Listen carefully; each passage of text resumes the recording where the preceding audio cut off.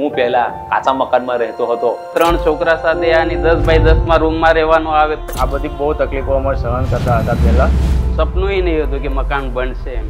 ઘર પર લાગેલી આ નેમ પ્લેટ એ સામાન્ય માણસનું સ્વાભિમાન છે. અતિથિને આવકારતા આ દરવાજા એ પરિવારની ખુશીઓનો આવકાર છે. ઘર એ માત્ર એક મકાન નથી. ઘર છે સ્વમાનની ગેરંટી સુખ સુવિધાની ગેરંટી ઉજ્જવળ ભવિષ્યની ગેરંટી દેશના પ્રત્યેક પરિવારને આ ગેરંટી આપી છે આપણા આદરણીય વડાપ્રધાન શ્રી નરેન્દ્રભાઈ મોદીએ. વર્ષ બે હજાર પંદરમાં માનનીય વડાપ્રધાનશ્રીએ દેશના પ્રત્યેક ગરીબ, વંચિત અને જરૂરિયાતમંદ પરિવારને પોતાની માલિકીનું પાક્કું સુવિધાયુક્ત ઘર આપવાનો સંકલ્પ કર્યો અને પ્રધાનમંત્રી આવાસ યોજના લોન્ચ કરી.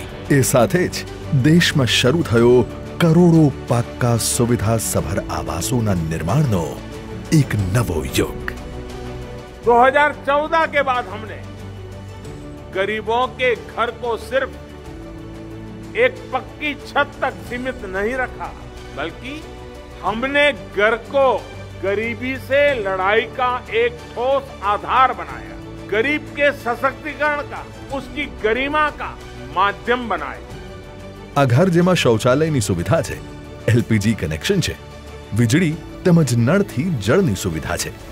માનનીય વડાપ્રધાન શ્રીના હાઉસિંગ ફોર ઓલના સંકલ્પને સાકાર કરવા ગુજરાતમાં પૂરી ઊર્જાથી કાર્યરત છે માનનીય મુખ્યમંત્રી શ્રી ભૂપેન્દ્રભાઈ પટેલ.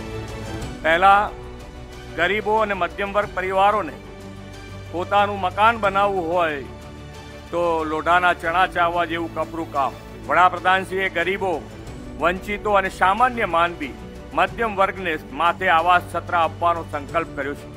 તેમણે દેશમાં પ્રધાનમંત્રી આવાસ યોજના શરૂ કરાવીને કરોડો લોકોને પોતિકા ઘરનો સધિયારો આપ્યો છે. વડાપ્રધાનશ્રીએ પ્રધાનમંત્રી આવાસ યોજના દ્વારા સુવિધાસભર આવાસ આવા આવા પરિવારોને ઉપલબ્ધ કરાવ્યા પ્રધાનમંત્રી આવાસ યોજના હેઠળ ગુજરાતમાં અત્યાર સુધીમાં તેર લાખથી વધુ આવાસોનું નિર્માણ થઈ ચૂક્યું છે. જે અંતર્ગત પ્રધાનમંત્રી આવાસ યોજના ગ્રામીણ હેઠળ ગ્રામ્ય વિસ્તારોમાં રહેતા પરિવારોને મળ્યા છે પાંચ લાખ ચૌદ હજારથી વધુ આવાસો. અને જરૂરિયાતમંદ પરિવારોને આવાસ નિર્માણ માટે ફાળવવામાં આવ્યા છે છ હજાર પાંચસો જેટલા પ્લોટ. તેવી જ રીતે પ્રધાનમંત્રી આવાસ યોજના શહેરી હેઠળ બન્યા છે આઠ લાખથી વધુ આવાસો. અને હા, આવાસ નિર્માણની આ યાત્રા હજી પણ અવિરત ચાલુ રહે. તે માટે ગુજરાતના આ વર્ષના બજેટમાં વિશેષ જોગવાઈ પણ કરવામાં આવી છે.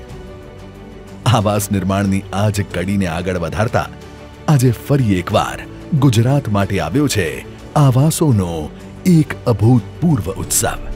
જે હેઠળ માનનીય વડાપ્રધાન શ્રી વર્ચ્યુઅલ માધ્યમથી માનનીય મુખ્યમંત્રી શ્રીની ઉપસ્થિતિમાં કરવા જઈ રહ્યા છે પ્રધાનમંત્રી આવાસ યોજના સહિત અન્ય આવાસ યોજનાઓ અંતર્ગત એક લાખ એકત્રીસ હજાર ચારસો ચોપન આવાસોનું રૂપિયા બે હજાર નવસો ત્રાણું કરોડના ખર્ચે ઈ લોકાર્પણ અને ખાતમુહૂર્ત. આવાસ અર્પણના આ ઐતિહાસિક કાર્યક્રમમાં જોડાશે ગુજરાતના એકસો બ્યાસી વિધાનસભા ક્ષેત્રો. આજે દેશભરમાં શ્રી રામ જન્મભૂમિ પ્રાણ પ્રતિષ્ઠા બાદ અભૂતપૂર્વ ઉલ્લાસનું વાતાવરણ છે. દેશમાં જાણે કે દીપોત્સવનો માહોલ છે, ત્યારે ગુજરાતના હજારો પરિવારોને મળવા જઈ રહ્યું છે. પોતાનું ઘરનું ઘર. આ ઘર માત્ર એક પેઢી જ નહીં, આવનારી પેઢીઓના ઉજ્જવળ ભવિષ્યનો માર્ગ પણ પ્રશસ્ત કરશે. રાજ્યની આ સશક્ત જનશક્તિથી જ તો થશે. વિકસિત ભારત. વિકસિત ગુજરાતનું નિર્માણ.